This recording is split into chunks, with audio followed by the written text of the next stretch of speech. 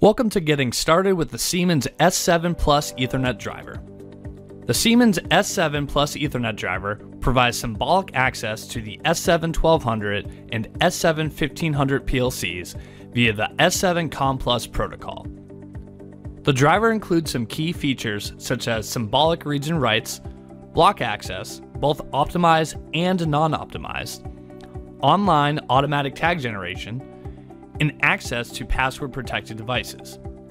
With online tag generation, there is no longer a need to manually transfer your tags from a TIA portal project. The Siemens S7 Plus Ethernet driver supports a wide variety of data types, including 8, 16, 32, and 64 bit data types, various tag time data types, and complex data types.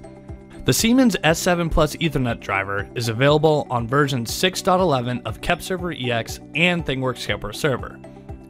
It is available on all full unlock packages of ThingWorx Kepware Server and is included in the Siemens Plus Suite and Manufacturing Suite for KEPServer EX. Let's get started. First, we will create a new channel under the project tree and select the Siemens S7 Plus Ethernet driver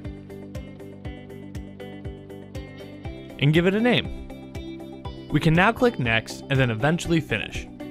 For most applications, the default settings will be enough for sufficient performance. With our channel established, we will now click Add a device under the selected channel. First, we will name the device and then enter the device ID. For this scenario, we will be connecting to an S7 1500 and will be using the IP address of the PLC.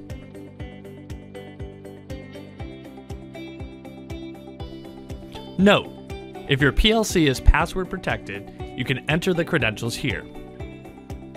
We can now initiate the automatic tag generation service by clicking Create Tags.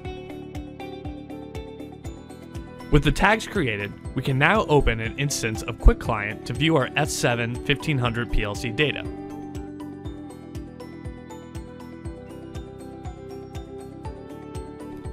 Congratulations on configuring your Siemens S7 Plus Ethernet driver.